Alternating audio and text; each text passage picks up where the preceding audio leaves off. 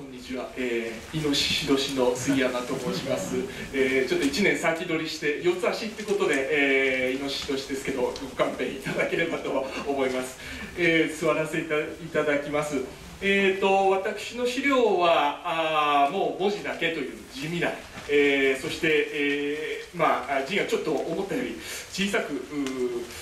小さかったものですからもうちょっと大きくすればよかったなと思いつつそんなこんなで、まあ、ちょっと画像は、えー、割愛させて ご覧入れたいやつもあったんですけども割愛させていただいてじっくり、まあ、あ文字の資料を、えー、眺めていただければと考えております。でえーと、私はあ先ほどの田村さんのご紹介にもありましたが、まあ、前近代の文学作品とかあ特に説話などに関心を抱いて勉強しているものなんですけれどもで、まあ、そんなわけで「日本の古典文学作品で犬」っていうタイトルをつけたんですけどこの十二校のこの毎年の企画あんまり勝手が僕分かってなくてどうどうやろうかなと考えあぐねたんですけどもなんか十二校臨読っていう文字もなんか掲げられてたので一応ですねまああのこの南方のその十二校の犬のお話ではどういうことが書かれてるのかっていうことをえー、ずらっとですね構成、えー、ということを、えー、僕なりにこう整理してえー、上げておいたのが1ページから、えー、結構長いですね。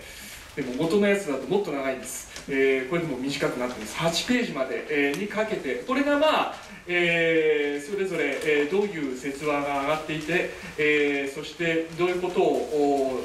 論しているかあどういう見解を皆方が抱いているかということを、まあ、適宜拾っていったものになるわけであります。でえー、それぞれ印をつけておきました。あ冒頭のところにも書いておきましたが、まあ、あこのひし形マークのところが、まあ、テーマ。テーマについては南方自身があ、まあ、犬の笑い話についてこれから書きますとかって宣言してるものもあれば、えーまあ、僕が勝手に、えー、こういう意図だろうということでつけたものもあります。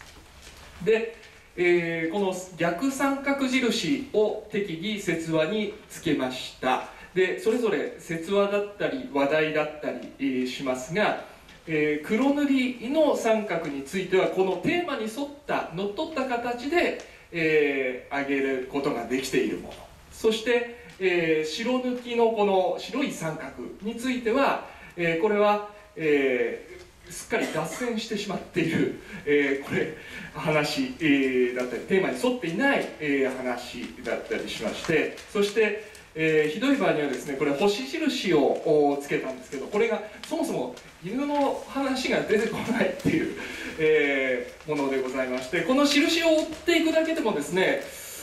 え、結構例えば4ページとかかりこの白抜きの逆三角形が多くてですね、えー、ものすごく脱線している。しかも星印もついてるので犬がそもそも出てないじゃないかと、えー、何を書いてるんだろうなこの人みたいな感じに、えー、なってきてしまうっていうような傾向が読み取れたりするかなというところでございます。さてそれで、えー、まあ内容に入る前に本当はあのちょっとですねこのこの論考が刊行された背景についても確認をここでしておきたいと思います。えー、方は先ほどの橋爪さんのお話にもありましたけれども、まあ、毎年この時期にはすでに、えー、新春の企画として、えーあまあ、毎年、まあ、太陽にこう載せるっていうことで意気込んでいて、えー、1月号に大体掲載するんですけれどもこの犬については2月3月4月12月という4回にわたっての連載になるわけです。で、えー、1つ目のくくり、えー、これはあ、まあ、平凡社とかああるいはまあ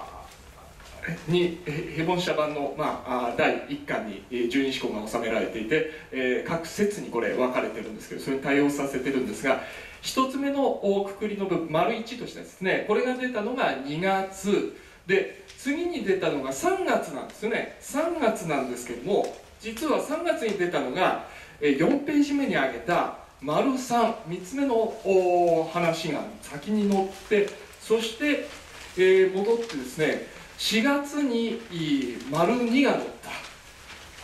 でそして12月に丸4が載るっていうことで、え、順番がですね2と3が逆に、え、掲載されてしまっているわけであります。でこれと関連してかあ関連してですね、えー、一番最後の紙ですね9ページのところに参考の2というのを挙げておきました。えー、12月に刊行したあこの太陽の論考の冒頭にはですねこういった文言が出てですねこの項に続ける前に断り多くは編集型の間違いで3月分と4月分が転倒しておることでまず4月号それからえー、3月号の節分を読んでもらわないと次第が分かる。さてさて、えー、3月号195ページに出した「あ今昔物語の」と、えー、こんなことが書かれています。実はこの部分ですね、えー、平凡社版の全集とかそれから、えーまあ、岩波とか、えー、東洋文庫とかでまとめられている十二支庫にはえー、省かれている部分でしてつまり本にまとめるにあたってこの部分はまあ分かりづらいので、まあ、あ削られた、えー、部分でありますので、えー、大元の太陽にしか出てないんですけども、えー、こういったものが文言が出ている。でおそらくこのことと関わるんじゃないかなと思われるのが、えー、参考の3の南方熊楠大辞典、えー、のこの犬の論考に関する記事でありまして、えーえー、1922年の3月4日の日記南方の日記は博文館、えー、太陽今月分世の、えー、犬に関する伝説と民族異で、えー、原稿をはじめ、えー、二三用印刷落脱しあり、えー、を受信と。えー、と脱落について言及がありこの文がどうなったかは不明であるということなんですけどもおそらく3月の段階で出たのが要するにこの丸3のやつでありましたので2の部分があないっていうことを出てないっていうことについてこの原稿はじめの23用はと書いたのではないかなと、えー、考えてみました。したがって、えー、この文はどうなったか不明であるってことなんですけれどもまあもしこれが脱落でそのままだっていうことだと不完全な形でしか我々見られないということになるんですけどおそらくこれ単に編集の錯誤で逆に出てしまったっていう事情からこういうことが書かれていて一応南方が書いたものは全て掲載されてるんではないかなと考えてはいるんですが原稿の初め23用つまり23枚の原稿に書いたことが脱落という分量と照らし合わせるとそん相当小さい字でこれ原稿を送っているかでも原稿用紙だとちょっと、えー、23枚の紙では収まらないんじゃないかなっていう分量があったりするのでそこら辺についてはちょっと、えー、いろいろ、えー、けいろいろ考える余地のあるところでもああるところでございます。でそれと、まあ、観光時期にですねついでに申し上げますと、えー、実は大正11年という年は南方は、えー、東京に、えー、植物が植物研究所の寄付金を募ってですね東京に出てっているんですねで、えでいろんな人に会ったりそれこそ太陽の編集者から寄付金をもらったりとかっていうこともしてるんですけども、えー、そのことと関わって、え、申し上げるならばあ面白いのが5ページのところに、えー、挙げておきました。えー、今昔物語集を脱線した形で弾いている部分ですけれども、えー、63という話のところですね。これについて輝市という人物が交渉根着物語集という重要な根着物語集研究の、まあ、先駆けのようなもので重要な研究が書があってこれは南方は随分よくよく読んでいる本なんですけれども、えー、これ、えー、に、まあ、南方が書いた「あ今昔物語」の研究の成果を、まあ、あ無断で、えー、取り入れられたということで浜谷市彼同級東京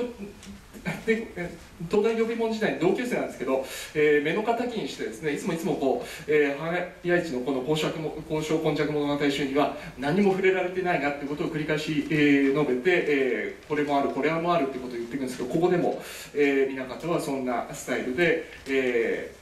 ー、まああ出典が指摘されていないなということを書いて。いるわけなんですけどもちょうどこの年の5月14日に花屋市と直接会って交渉根弱物語誌をもらうなんていうような、えー、こともありましたのでおそらくこの犬の話、えー、それと合わせてその花屋市に対する、えー、文句も、まあ、当時の学者たちはあよく目を通していったりしたんではないかなと。で、えー、熊薬に、えー、もう少し脱線をいたしますと羽谷市、えー、の関係といいますと7ページ目ですね。先ほどの橋爪さんの話で、えー、花坂仁さんの話に一番最後のところで方で皆方はこの論法で、え、注目するわけなんですけども、えー、金管佐々木貴前君の100番目の話ですね、えー、江差軍昔話に入れる灰巻じの話は教科書に載ったものとは遺体でということで皆方教科書を見てたということですね、えー、おそらくこれはまあ、息子さんとか、えー、娘さんとかのやつを見たんじゃないかな。あと推測されるんですけど実はこの、えー、子供たちがあ使ってたのは羽谷市もこの編纂に関わった教科書「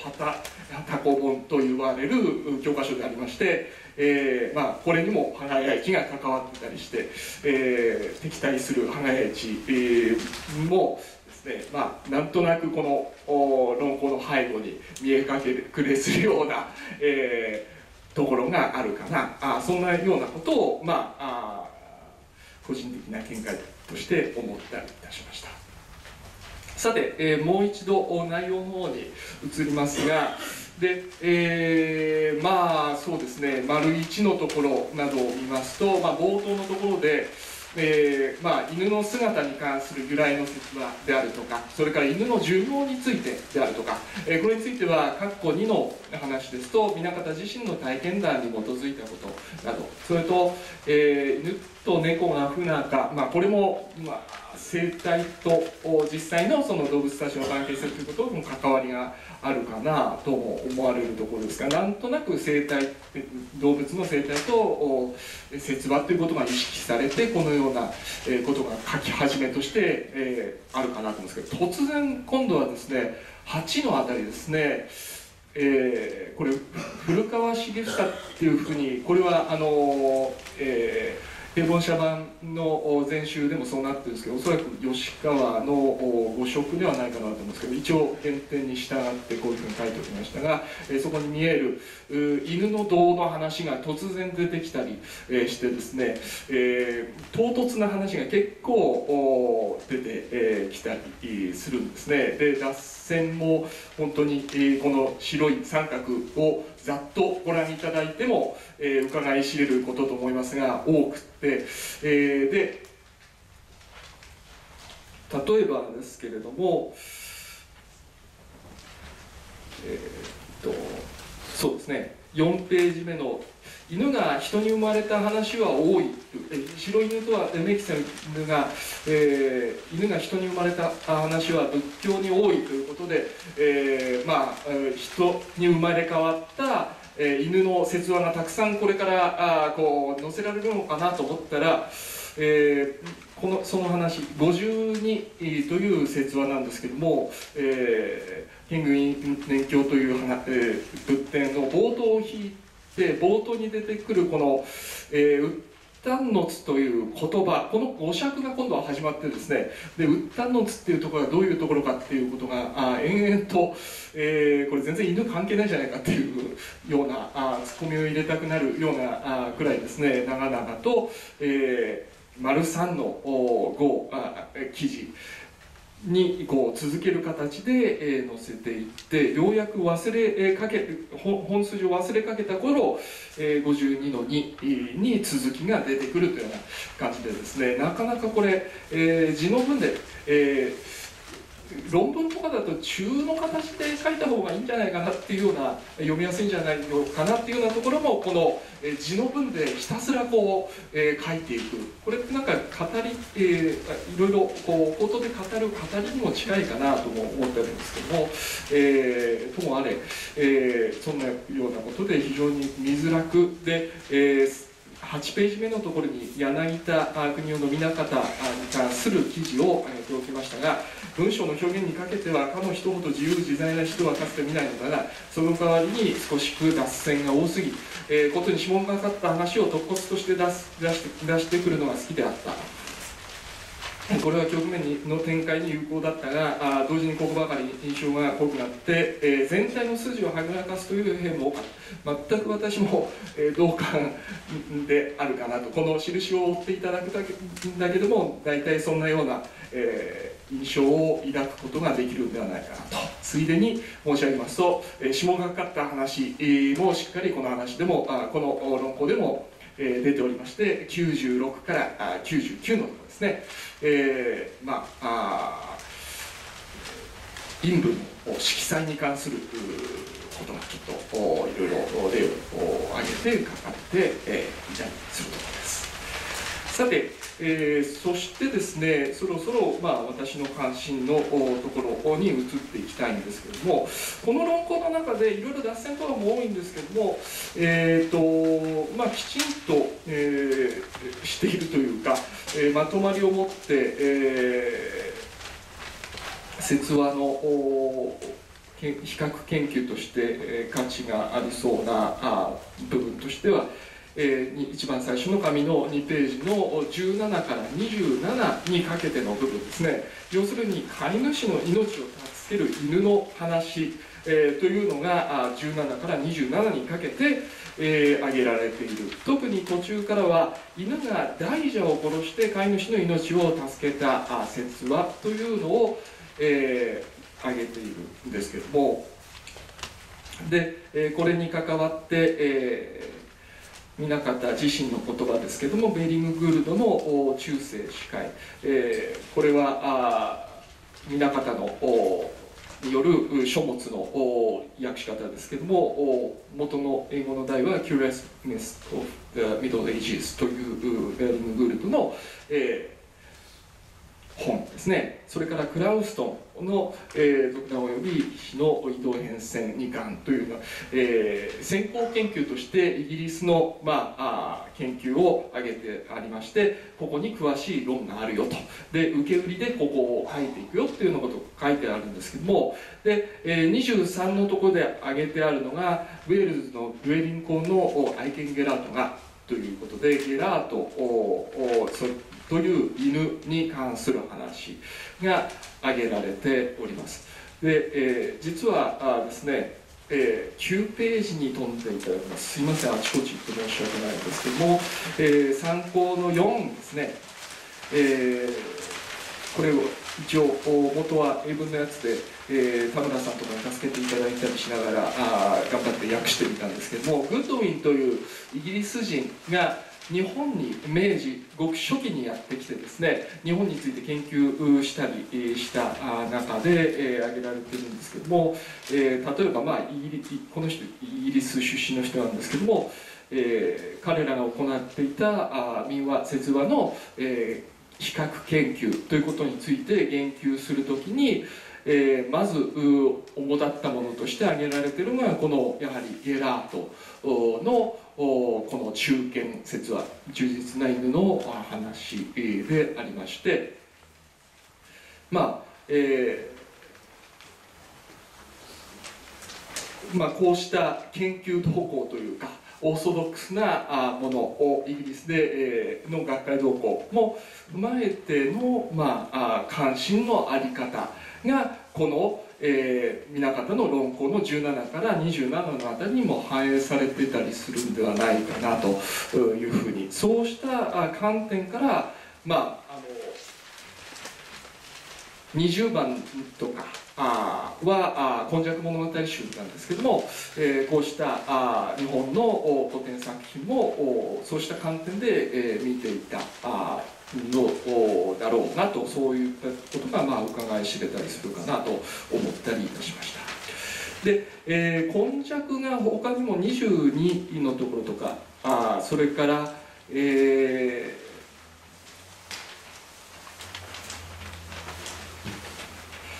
他にもいくつかですね上がっていて犬は出てこないのにですね、えー、上げてるのがで、えー、最初からすいません、えー、準備がちゃんとあえー、これな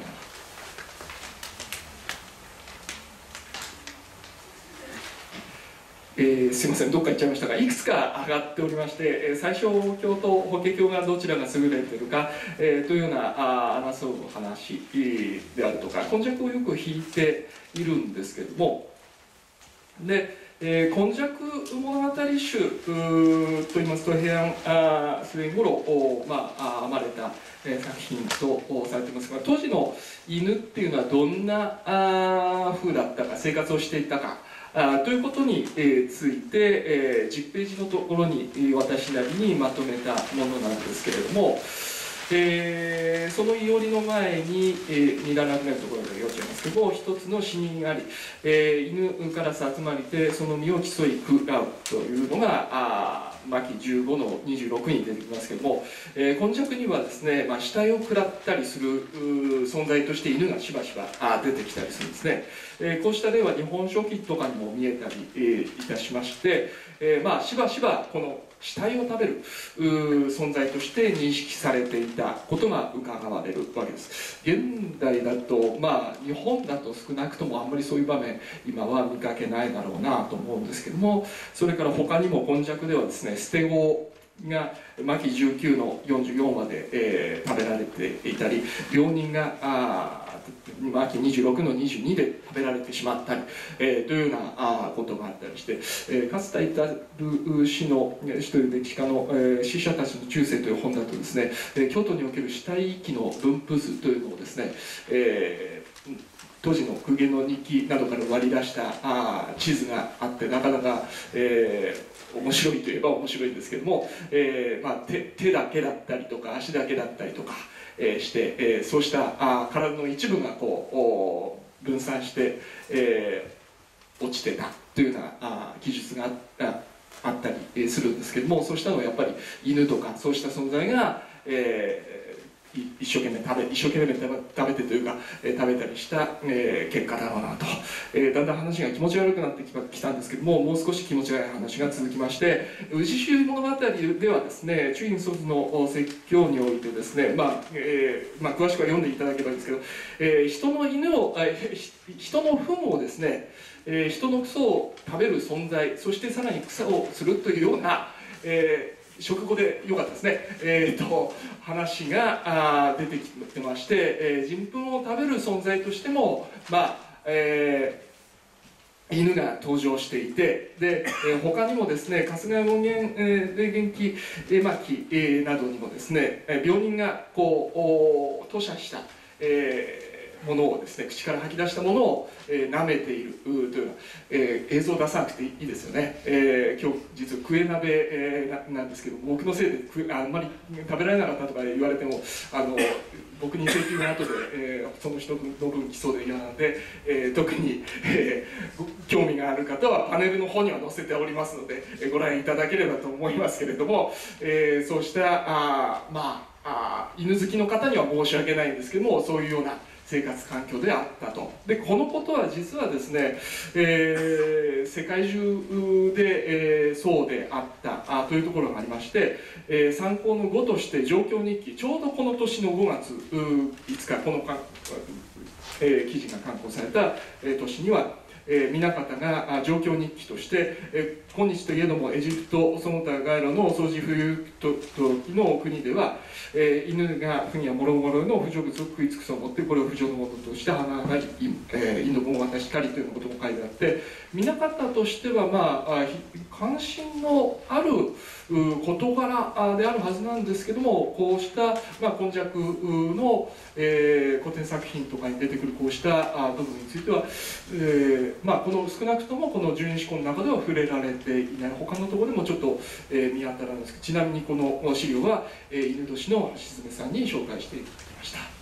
えそれから最後にまあ簡単になんですけども、えーまあ、古典にか出てくる犬ということで言いますと、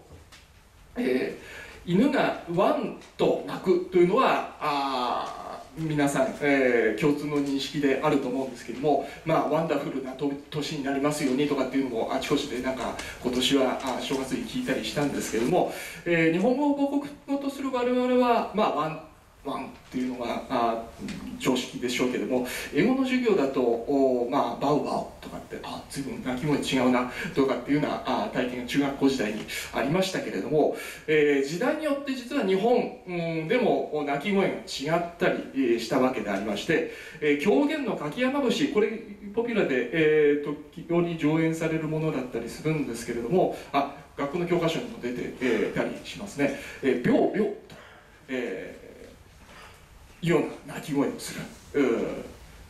で南方の見解によるとこれバウアウに近いじゃないかというようなことを言っていて、えー、その他あまあ詳しくは書いておきましたけれども、えー、どれだっけな。えー、とにかくこの鳴き声に対する着眼点、えー虎の話とか他のところにもあるんですけどまあ南方のこの関心の一つだったんだろうな。そして、えー、この、えー、犬がいつからワンと鳴くかあビョウビョウと鳴いてるのがいつまでかっていうことについて、えー、近年の研究でですね山口中見氏という人が犬はビヨウと鳴いていた。これなかなか面白い本なんですけども、えー、まああそれに先駆けたあ研究として、まあ、この論考の、えー、この部分は位置づけることもできるかもしれないなと考えているところです。えー時間的にはこのぐらいでしょうか。はい。えっ、ー、と、ひとまず、えー、あんまり、えー、脈絡がなく脱線の多い話で恐縮でしたが、あご清聴ありがとうございました。